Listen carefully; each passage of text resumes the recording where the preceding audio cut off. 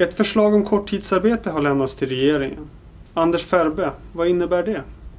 Det innebär att vi tillsammans med våra motparter är överens om att föreslå ett system som gör det möjligt för medlemmar att istället för att drabbas av uppsägning få möjlighet att få ett statligt stöd så att man kan gå ner på kort kortare tid i arbetet.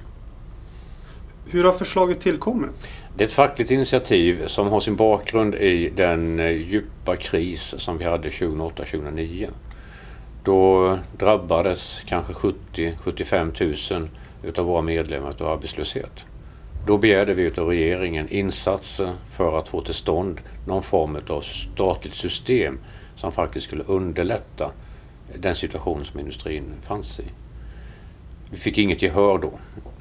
Vi drev frågan i avtalsrörelsen 2010, 2011 och blev överens med våra motparter om att fortsätta ett arbete till att ta fram ett sånt här förslag till regeringen. Och det är det som vi nu är klara med. En rapport som vi nu lämnar till regeringen i syfte så att säga att få en statligt subventionerat system som kan användas i samband med kristiden. Hur skiljer sig detta från det så kallade krisavtalet? Så det så kallade krisavtalet tillkom ju i en situation för att överhuvudtaget rädda en del jobb. Eh, det var en tuff uppgift att träffa det här krisavtalet.